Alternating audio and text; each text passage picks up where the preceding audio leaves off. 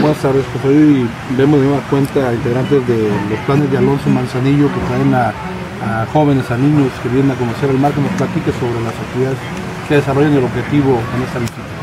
Sí, los planes de Alonso, Alegría para Niños con Cáncer, estamos establecidos en Irapuato, Guanajuato y nuestra misión es como dice, Alegría para los niños con cáncer. Ya tenemos 11 años trabajando en, esta fundación a raíz de mi hijo Alonso, me presento, Rocío Martínez Preciado. Mi hijo Alonso, que tenía 8 años, él se recuperaba de un cáncer de sarcoma de Wynn, de cáncer de hueso, y él quería ser entrenador del cine, le encantaba el mar, y un día me dijo en su trasplante, mamá, vamos a hacer mis planes para cuando salga del trasplante.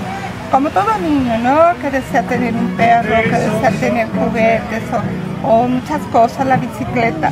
Se le corta su mundo cuando se enferman de cáncer, se les cambia.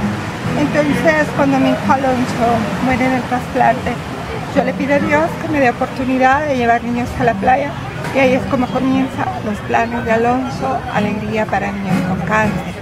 En estos viajes que realizó son de, de 4 a 6 veces al año, traigo 8 mamitas, a veces 6 con sus niños, para que también la mamá disfrute a su hijo en otro ambiente que no es el hospital, es armonía. Se ha visto que los chiquitos regresan con su biometría hemática más alta, mm, con más ganas otra vez de seguir la lucha de la enfermedad, ¿no? Porque cuando estás contento regeneras más células buenas. Y pues estos viajes se hacen con personas que abren sus corazones, que ponen su granito de arena para que mis niños conozcan la inmensidad del mar. Y en esos ocho años, ¿como cuántos niños has, traído o has llevado a la playa? Sí, pues ya estoy hablando de unos 200, yo pienso, sí, hasta Cancún, ya también hemos ido a dos, dos viajes a Cancún, a, a Acapulco, a, San Blas Nayarit, pero aquí donde más me encanta es Manzanillo. Las personas de aquí de veras son, tienen un corazón muy cálido, es hermoso. ¿Te apoyan?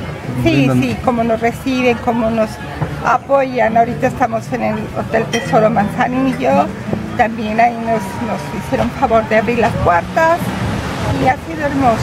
Otras veces rentó una casa en Club Santiago y este, y pues estos gastos se hacen allá en Irapuato, nos ponemos a vender paz, galletas, en fin, para, para pagar la renta y también un transporte, una camioneta que nos trae. Ahora también los planes de Alonso se están cargando de madres que han perdido a sus hijos. También es muy importante porque cuando muere tu hijo empiezan los sentimientos de culpa o con el esposo o con los demás. Tú hiciste eso lo que no hiciste. Y los otros hijos también de la familia se quedan no nada más sin el hermano, se quedan sin los papás porque los papás se enfrascan en su dolor y se olvidan de los otros hijos. Entonces también en los planes de Alonso, en cada viaje le estoy llamando a una mamita. Ven, tú tienes mucho amor para dar, ¿me acompañas?